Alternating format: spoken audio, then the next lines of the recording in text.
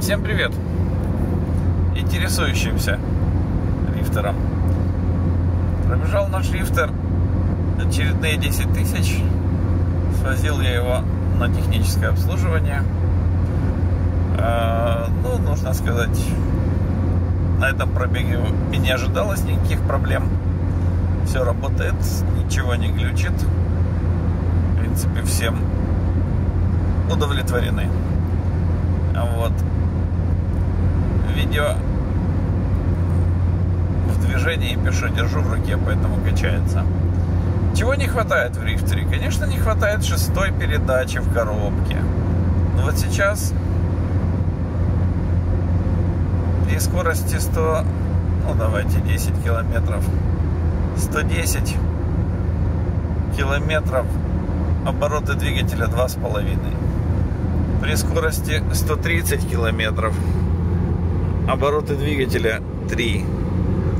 При скорости, точнее так, при трех с половиной тысячах оборотов 150 на спидометре.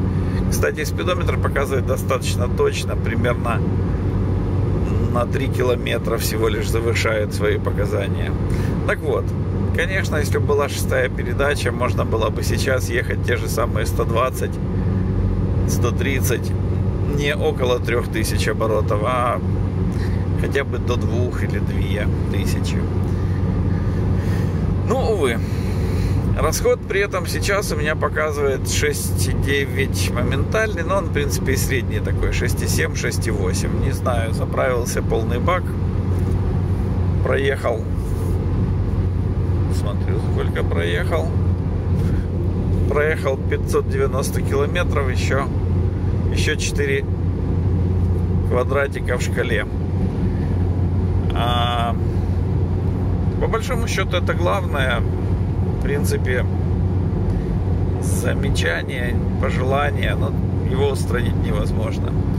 Либо бери другой двигатель с автоматической коробкой, либо этот чудесный, замечательный двигатель, но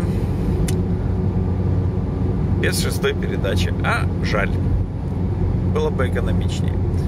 Двигатель тянет хорошо, крутит до 4000, после 4 скисает на практически на любой передаче. На пятой передаче один раз я увидел а, цифру 170 километров в час, то есть, ну, реально 165, круто, вполне. А, очень чувствуется зависимость э, расхода от ветра. Сейчас я еду более-менее спокойная нет таких порывов ветра. Перед этим ехал в очень сильный был ветер, боковой все время вилял рифтер по дороге.